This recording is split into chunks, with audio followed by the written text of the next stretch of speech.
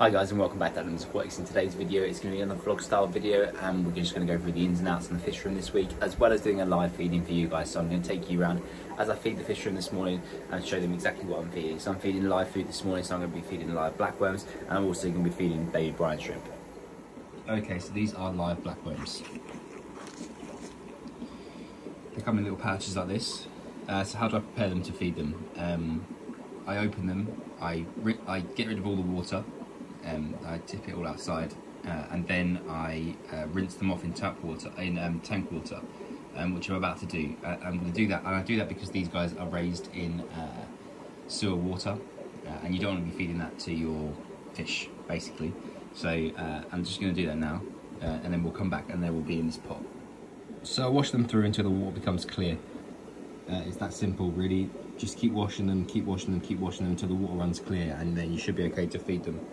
Uh, this is three packets because I'm going to be feeding quite a lot of the fish to these blackworms. Uh, and then uh, I'll show you how to harvest uh, the baby brine shrimp. So over here is my brine shrimp hatcheries. Uh, you turn the air off, so I turn the air off at this valve here, and then I place this light here, which should then attract all of the brine shrimp that's here, all the way down to here. And brine shrimp are uh, attracted to light, and then you, when they're all at the bottom, you then just pull this valve off this here, and then just square it into the cup. Um, so I have one cup for blackworms, one cup for uh, brine shrimp, um, and then I'll go around and I'll feed them. So whilst I'm waiting for the brine shrimp to uh, collect at the bottom, let me just give you a quick update on what's going on in the fish room this week. So we added a new fish to this tank. Um, we added an Apistogramma Inca 50 or Benchii. Um, he is around somewhere. I'm going to try and get some video of him for you guys. Uh, he's settled in really well to this tank. Obviously, he's not the dominant male um, because this guy is. But um, he's in here, he's settled in fine. Um, he, he likes to, not skulk about, but he likes to uh, hide and, and, you know, he comes out for food. So when I feed, you'll, you'll definitely see him and I'll point him out when I feed this tank and the only other real thing to talk about is these two. Um, so I did a big water change on these guys last week and he basically just beat the crap out of her, which you can see on her side there. Um, so they're currently being medicated for um, fungus as well as I've put quite a lot of um, salt in there to help with the wounds. Um, he's also quite beat up from her. So hopefully, I've also turned the temperature down now because I think that the increase in temperature is what's caused him to go a bit breeding crazy. So turn the temp down in the tank um, should help to um, lower the aggression in him. And hopefully he'll, they'll both get better in time. They're both swimming fine, they're both acting okay, so it's not really an issue when it comes to their behaviour. So I'm not too worried about them being a serious illness, it's just um, superficial wounds and I removed the breeder box from this tank here. So the Apistogramma elizabethae red female that was being medicated last week because she sustained some very serious injuries, um, didn't make it. So um, I've then repurposed that tank for second stage grow out for these guys. And they've been growing really well in this tank. Um, I've been really happy with them. Again, they're still getting baby brine shrimp. I might try some blackworms for these guys, but I think they're a bit too big for these guys at the moment. So we're just gonna just continue to feed these guys brine uh, until they get a little bit bigger, uh, and then they'll go into a bigger tank um, for the final stage of grow out. Uh, I've also decided that we're gonna condemn the um, black grow out tote once the uh, four uh, normal master I finish growing out, because I'm gonna use that for an outdoor pond. That's the current thought process behind that. Also, we had some fry from um, our Ocelot Gold, which are in the grow out totes, which is why you might be wondering why we weren't using these guys for uh, the growing out of guys. But yeah, we've got some grow out. They're in here. There's four or five. See if I can get some video of some of them for you.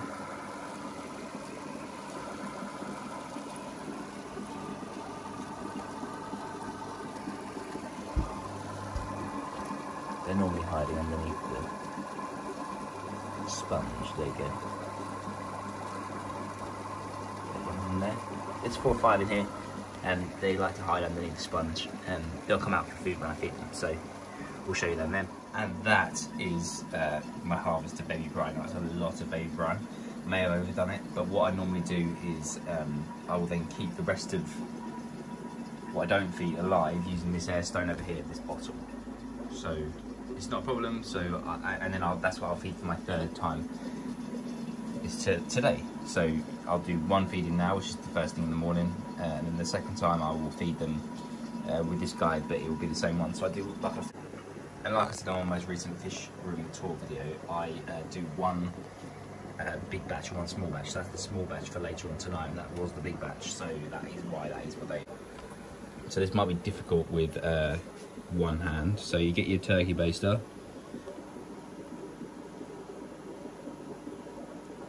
And you try to suck up all the black worms you possibly can. That's quite a lot of black worms, you see.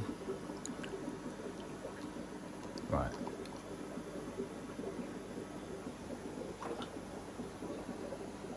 Then the fish know what's coming because they know what's coming when they see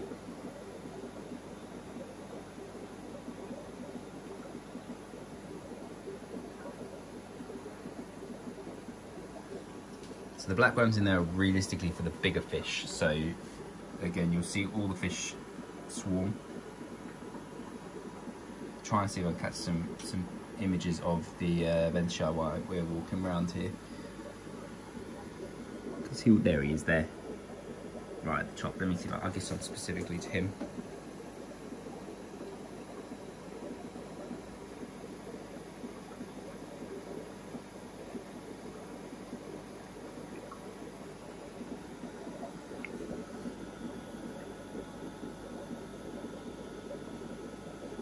So there you go. There's him eating. Yeah, he's settled in nicely. Uh, really nice fish. Uh, Alright, so we're to go down here to my Elizabethae Red. There he is there.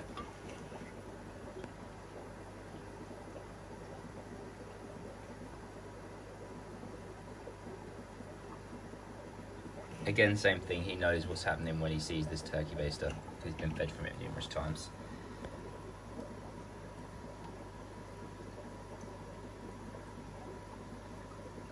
It brings out their best colours as well because they kind of uh, show off a little bit, which is pretty cool. Okay, we're going to start over at the rack, so I always start with Percy first.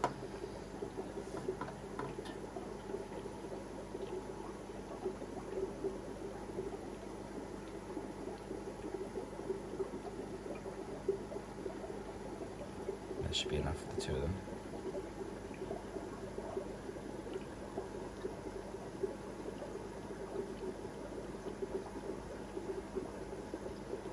Okay. Go and go off and do Mars and Venus. Same thing, they love these guys, so.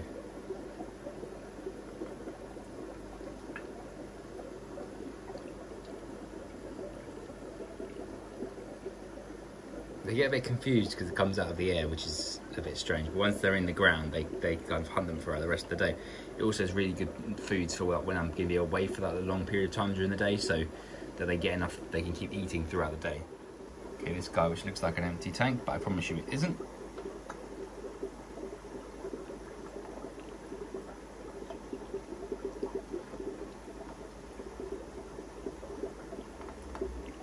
Trouble with my equipment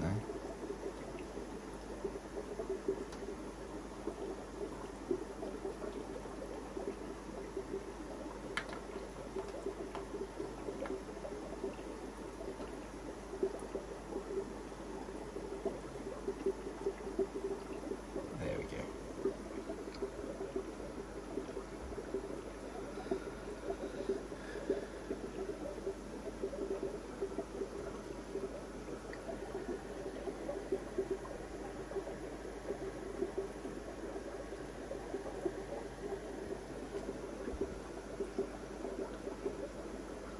Bit strange that neither of them come out for the food yet, because they're normally quite active to the food.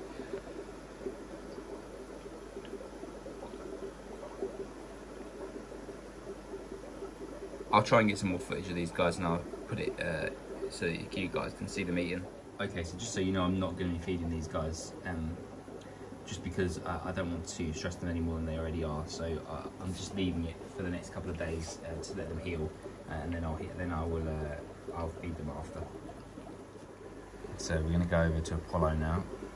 Uh, just give me a second to remove the uh, lid. Lid removed, and if you can see, he knows it's feeding time, and so does she. So.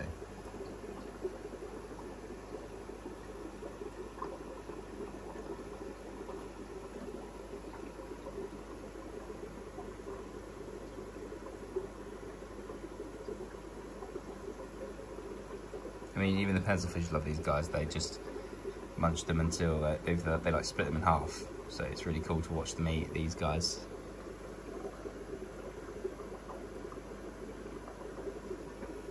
Aphrodite doesn't seem that interested in them at the moment, but she'll hoover them up later. That, that's just what happens with these two.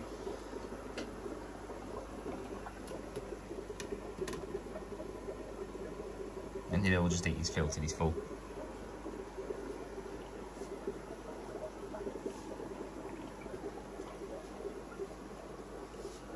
We're going to go down to the uh, youngers.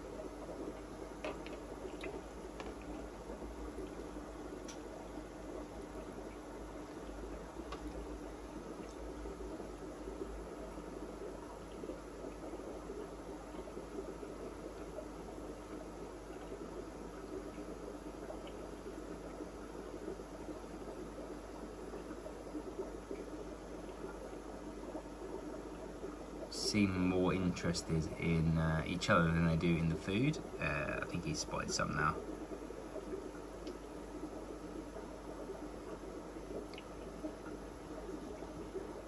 Uh, you can see from this colour that she still is uh, caring for the fry because of the coloration in her body. And she's trying to defend the fry from the dad. So maybe I should have put the, the food in at the back. I have been putting the food in at the back the rest of the week.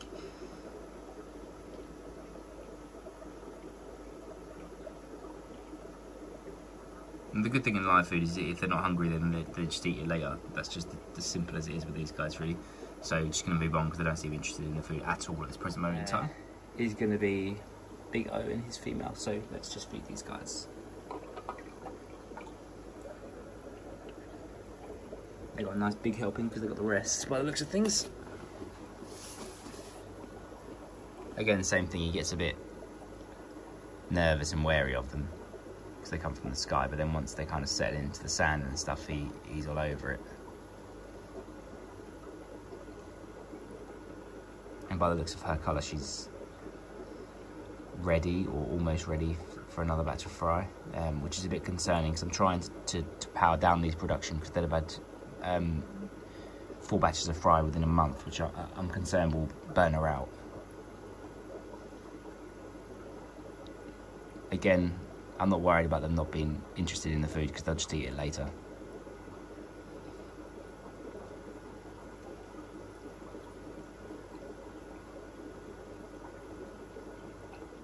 So that was the feeding of blackworms. Um, it's quite straightforward really, just make sure you wash them thoroughly. Uh, now we're going to move on to the brine shrimp uh, and feed all the smaller fish uh, and the ocellatus gold. So I don't feed the ocellatus gold um, blackworms because I don't feel like that's conducive to their diet. It's not something they would eat in the wild, so I don't feed them that in um, in the aquarium. So um, I'm going to feed them brine shrimp, and they love it anyway. You'll see once I feed them. Okay, so the brine shrimp is now all rise to the top. So you just get your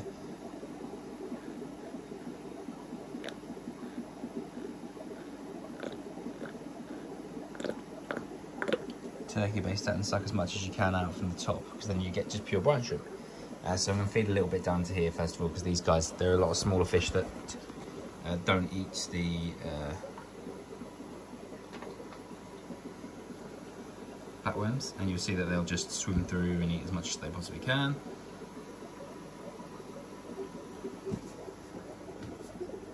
This is the Ben Shy here. He's looking really good. I'm really pleased with him. Uh, and then we're going to go over to the ocellatus gold now. You have to put it down so I can remove the lid and then I'll come back. Alright, so here we go.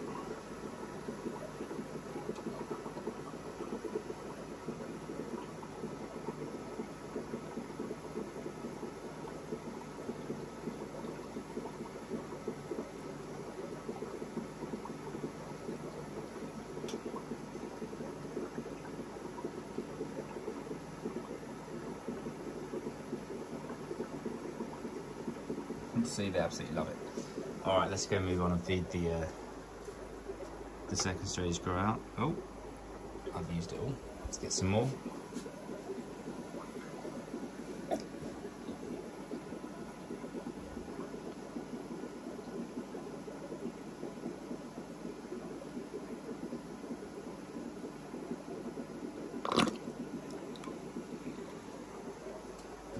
Okay.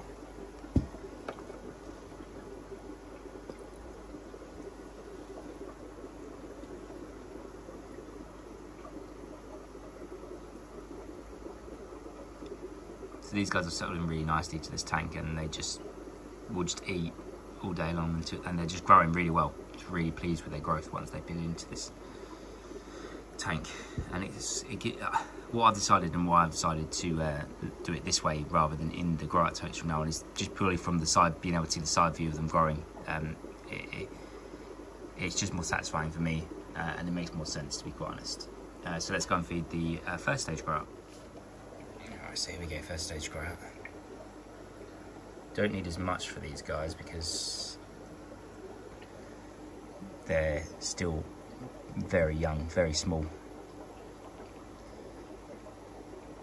But the same thing is true with these guys. They will just eat, eat, eat, eat, and that's what you want them to be doing. Really, all you really want them to be doing is eating and growing. To be honest.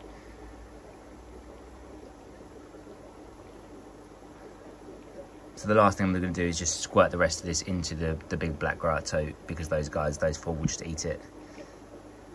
Uh, and then that sums up feeding. So literally I just squirt the rest in here. Get a little bit more because it didn't seem like enough for the, those guys that are in there because I know how many of those guys are in there. Give me a little squirt. Uh, and we've also got to feed the uh, ocellatus gold babies. Now they don't need a lot because again they're still only a few days old. And there are still some in here with the mum. Uh, and as you can see she's still chowing down on all of the baby brine that are in there. So you, you know baby brine is a superfood. Uh, feed as often as you can as long as your bigger fish will eat it. So a lot of my bigger fish won't eat it. So like uh, Apollo won't eat it and um, Mars won't eat it and Percy won't eat it. Um, the Rams will Set will Osiris won't and, and most of these guys will. Um, this guy won't. Airbus won't. But if you can feed it to your larger fish, feed it to your larger fish because it's really good for them. So let me just. Alright, so here we go. So literally, just I just do a little squirt over here, a little squirt over here, and then that's them fed. Really, I never really check to make sure that they're feeding because they are feeding all the time. Um, I just change this water once. Once every day, so that's what I keep this guy here for. That's the chlorinated tap water. Um, and it's really simple, really. Okay, so that sums up another week in the fish room and another live feeding. If you've enjoyed this video, make sure you like and subscribe. Follow me on Instagram, adams.aquatics, and join me on Thursday for a how-to video.